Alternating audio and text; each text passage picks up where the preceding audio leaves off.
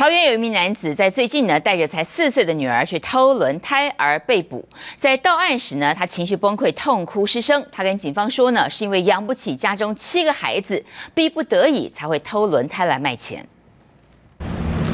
走出警车的男子就是带着四岁女儿偷轮胎的嫌犯，偷低的不能再低，真的好懊悔。你为什么偷轮胎？一到警局，刘姓男子痛哭表示，家里有七个小孩要养，才会摸黑带着女儿拆轮胎。呃，一个很小的小朋友哈，是在是在后座。警方巡线在二手轮胎行找回十四个轮胎及铝圈。刘贤供称，他曾做过车辆零件买卖，也会修车。偷来的铝圈卖给回收厂，一个铝圈只卖六百四十元，轮胎每个五百元贱卖，至今得手约一万元。巡逻的方式哈，啊，发现就是一个窃嫌正在偷车子里面的东西，那那个拔零件，然后我们在后来我们才会，呃，以现行犯跟他逮捕。男子被偷落网，妻子带着两个小孩到警局探视，看到小女孩天真喊爸爸，这处境连远景看了都鼻酸。